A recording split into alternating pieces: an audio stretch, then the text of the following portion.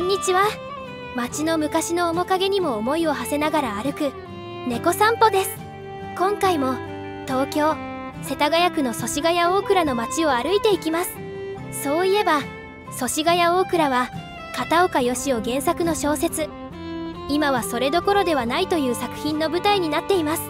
今度読んでみようと思います。あとトンネルズの歌「一揆」の歌詞の中で日梨憲武の紹介で祖師ヶ谷大倉が登場します。それでは散歩をスタートしていきましょう。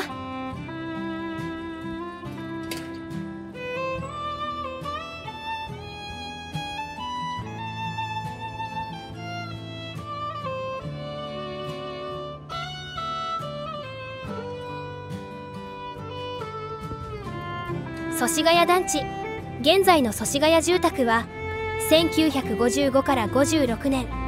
昭和30から31年に東京都住宅協会現在の東京都住宅供給公社が賃貸住宅として建設した世田谷区内最初の鉄筋コンクリート造りの大規模団地です。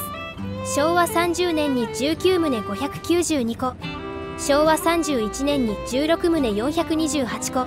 敷地面積は2万2606坪に及びます。建設大臣表彰団地となりました。入居は1957年昭和32年7月からで1ヶ月の家賃は4100から5200円でした。当時大卒の平均初任給が1万2000円でしたので決して安いものではありませんでした。また1970年には「裸の19歳」の撮影が祖師ヶ谷団地で行われました。昔の雰囲気が今も残っていて昔を忍ばせてくれます。祖師ヶ谷で昔の面影を一番感じられる場所です。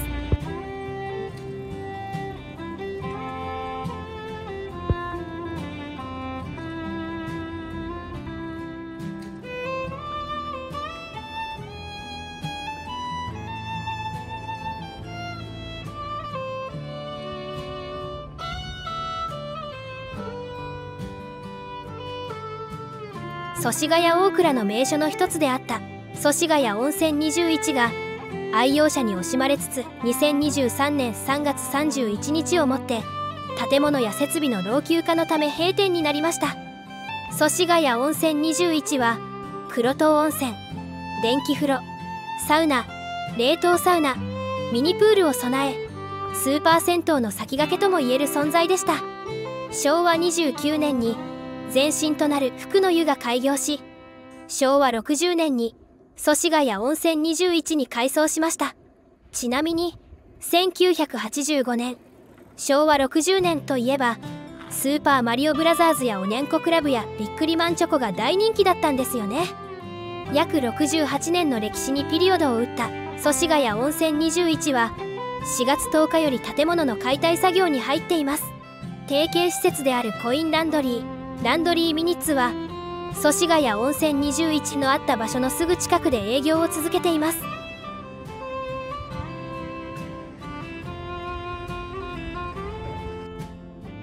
2019年2月に祖師ヶ谷ふれあいセンターの前にカネゴン像が誕生し地元の子どもたちに人気でフォトスポットにもなっています。カネゴンは1966年に放映された円谷プロ制作の「ウルトラ Q」第15話に登場する怪獣です。主食がお金で1日に必要な量が3520円左胸のレジスターのカウンターに体内にある金額が表示されますがカネゴン像では左胸のカウンターも再現されています。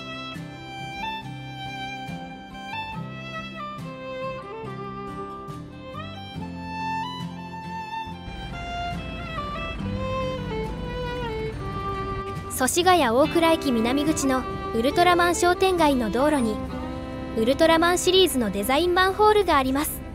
絵柄はウルトラマンウルトラセブンカネゴンアントラーバルタン星人の5種類です。また下水道の理解や関心を深めるためのコミュニティツールとしてマンホールカードがあり下水道広報プラットフォームと地方公共団体が一緒に発行しています。三軒茶屋の観光案内所三茶キューブで配布しておりウルトラマンの絵柄で1人1枚もらえるそうです。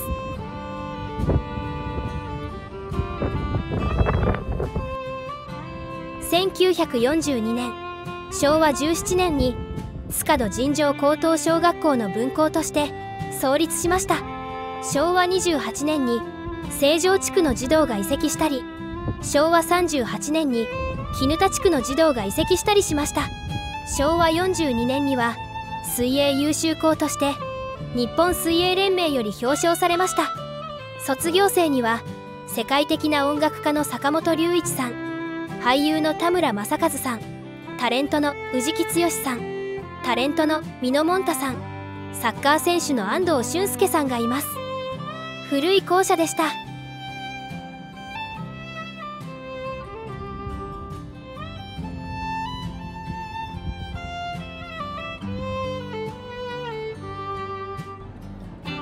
1961年から3代続く地元で人気の老舗の洋食屋さんです。オムライスとクリームコロッケがセットになった。オムコロが人気ナンバーワンのメニューです。ポークジンジャーも好評です。いろいろ食べてもやっぱり最後は真壁に戻ってきちゃうと地元民に言わしめるほど愛されているお店です。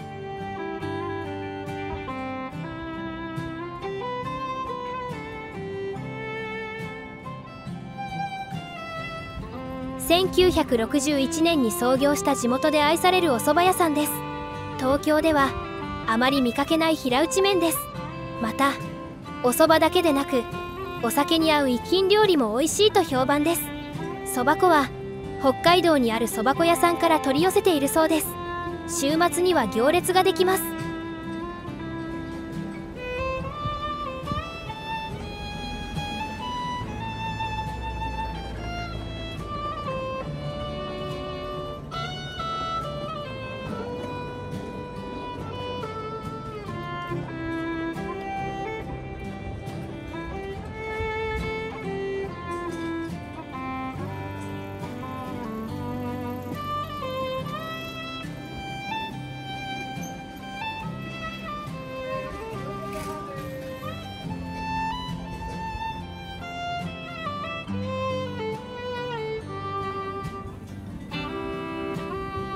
2020年10月に開店したラーメン屋さんですがいつも行列ができています。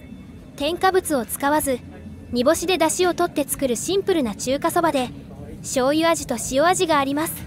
デフォルトの中華そばのお値段が650円というのも嬉しいですよね。ミシュランガイド東京で2022年と2023年にビブグルマンを獲得したお店でもあります。また金曜日の夜だけとんかつ屋さんに様変わりするそうです。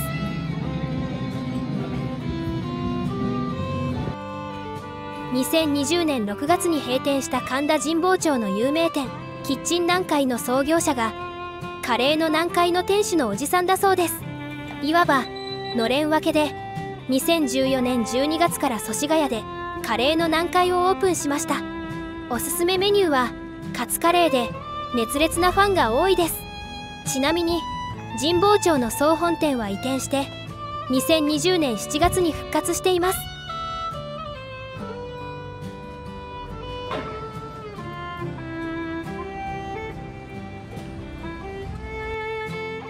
食べログのカレージャンルで全国1位になったこともある唯一無二のカレーやここでしか食べられない味やスパイス料理は一度食べたら必ずリピーターになるほどの美味しさです。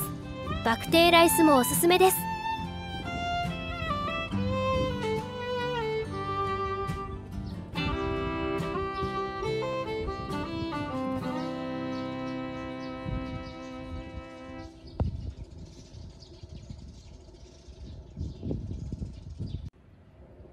祖師ヶ谷大倉で唯一残る昭和の路地である。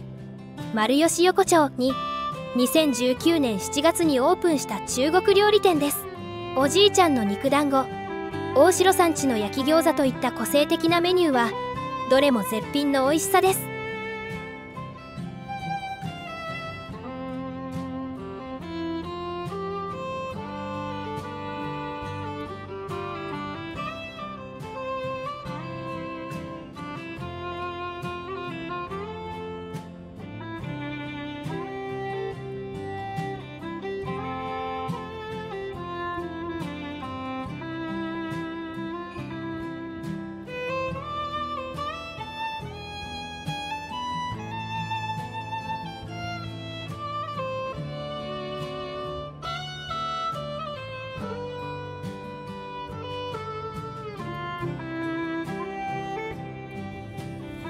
1950年昭和25年創業の焼き豚のお店です。焼き豚豚もつ焼きは9種類で白頭タンハツレバ油ガツ小袋軟骨があります。どれも1本150円です。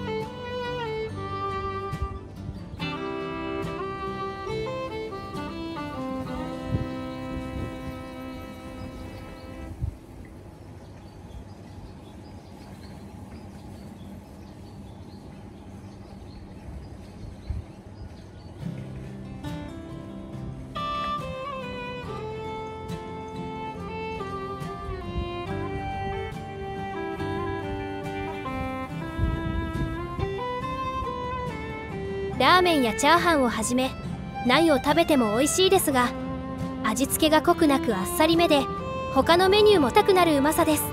クオリティが高いのにお値段がリーズナブルでリピーターが多いと思います。現在お店は4月半ばまで改装工事中です。ちなみに本店は千歳烏山にあります。